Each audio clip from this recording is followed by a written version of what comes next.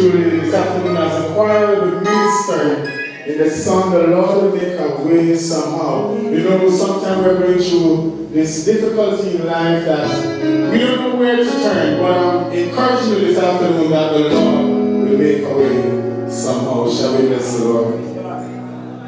Like the ship tossed and drifting,